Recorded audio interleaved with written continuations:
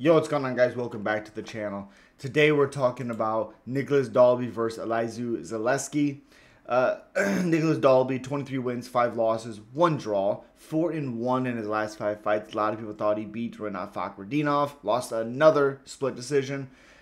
Basically a pick'em fight, 39 years old, 5'11 with a 74 and a half inch reach, fighting Alessi uh, Elizeu Zaleski, Jesus. 24 wins, 8 losses, 2 2 and 1 in his last 5 fights. Also, argument that he beat Rinat Fakhretdinov. Lost the decision against Randy Brown. Randy Brown just looked really good in that matchup. 37 years old, 5'11 with a 73 inch reach, 1.5 inch reach advantage for Nicolas Dalby. So these guys fought once before. So we're going to take a look at that. So again, you know, significant strikes. Uh, let's see. Nicolas Dalby ended up winning split decision 29 28, both sides. So Zaleski dos Santos, significant strikes, 57 of 131. Dalby was 41 of 139, 43% significant strikes for Dos Santos. Total strikes 61 of 50, no takedowns, 6 out of 10 takedowns for Nicolas Dalby, had 4 minutes and 14 seconds of control time. Dos Santos had one reversal. So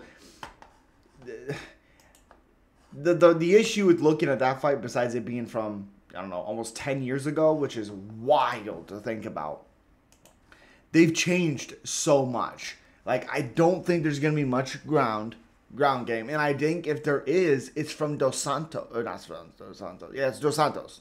Zaleski Elizeu Dos Santos, I think it is. I think it's by him.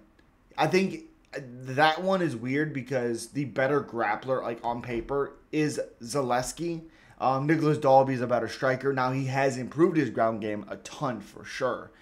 But again, even if you watch that fight, a lot of the momentum was was with Zaleski in that fight. So the split decision could go any either way. It's not a robbery for anybody, but um, in this one, years, nine years later, I mean, Dos Santos was what? What is that? Jesus, 28 years old. Dalby just turned 30 or getting ready to turn 30 when they fought. I mean, pretty unbelievable to get this rematch. So I think this rematch is going to be very competitive. I think it's going to be very fun. Maybe fight in the night for sure. And it's just hard to go against uh, Dalby as the fight goes because he just his cardio is ridiculous for a 39 year old guy.